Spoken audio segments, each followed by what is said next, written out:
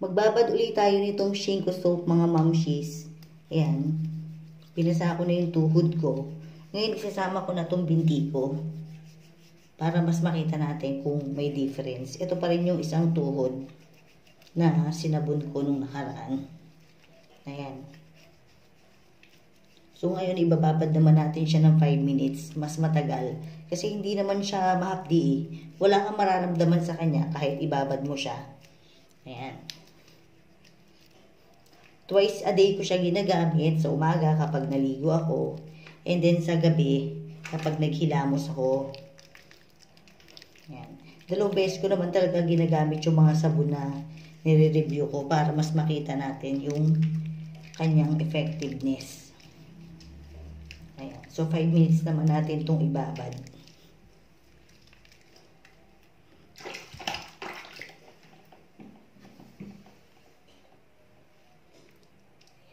Tingnan natin kung mas matutuyo siya.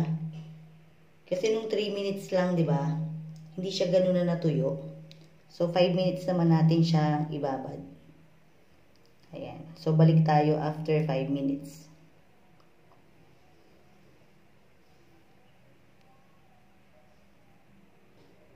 Yan. 12 seconds na lang mga momshies.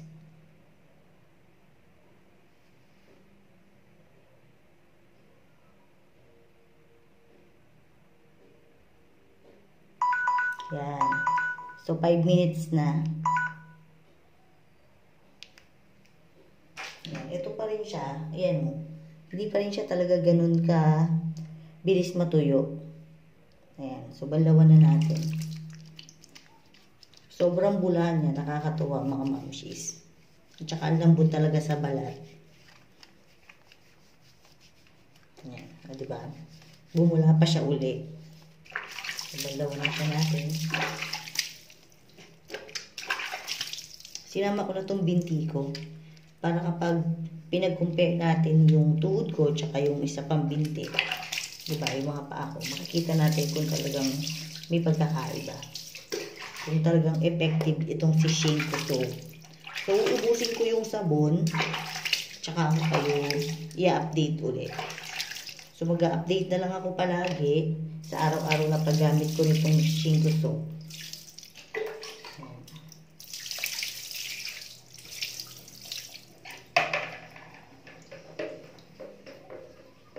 So, ipatry lang natin.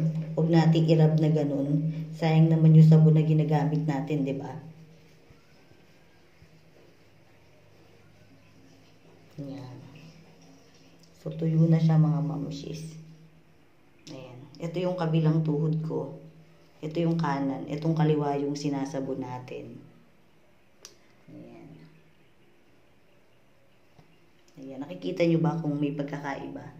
Siguro dahil kasasabon lang nito. Pero malalaman natin yan sa mga susunod ko pang mga gamit. Ayan. Ang itim nitong isa nakakahiya.